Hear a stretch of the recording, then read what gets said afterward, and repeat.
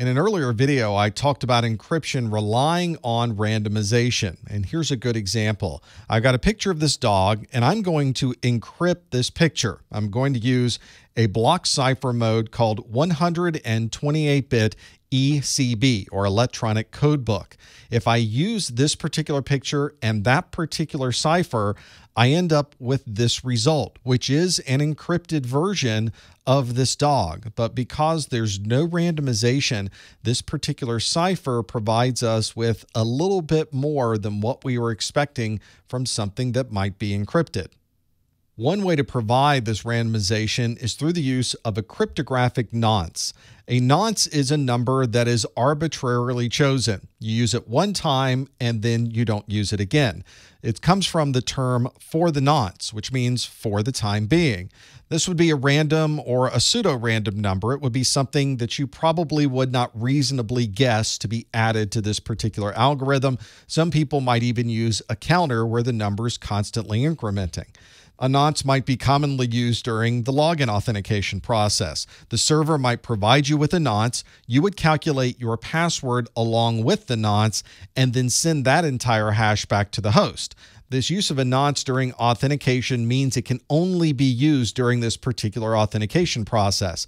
This would prevent a replay attack from occurring because the first authentication was using one nonce and any subsequent authentication requests would be using a completely different nonce. If we need to randomize an encryption scheme, we commonly use an initialization vector or an IV. This is a type of nonce that provides randomization for this encryption process.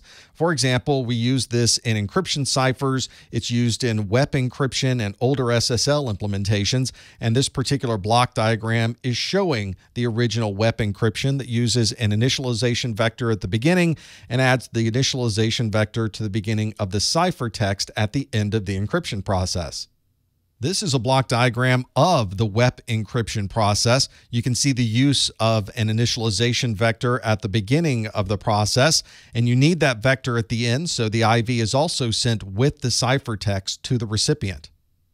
Another type of cryptographic randomization is a salt. This is a nonce that is used to randomize the hash that is created from a user's password. Imagine if everyone in the organization used exactly the same password. All of the stored passwords would then be identical, and someone who is trying to perform a brute force against all of those passwords only needs to break one of those passwords to be able to gain access to all of the others.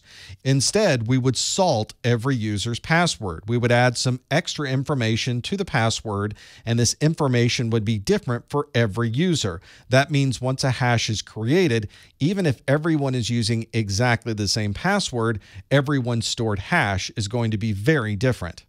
Now the bad guy will have to go through every individual user's password to perform a brute force instead of performing a single brute force for everyone.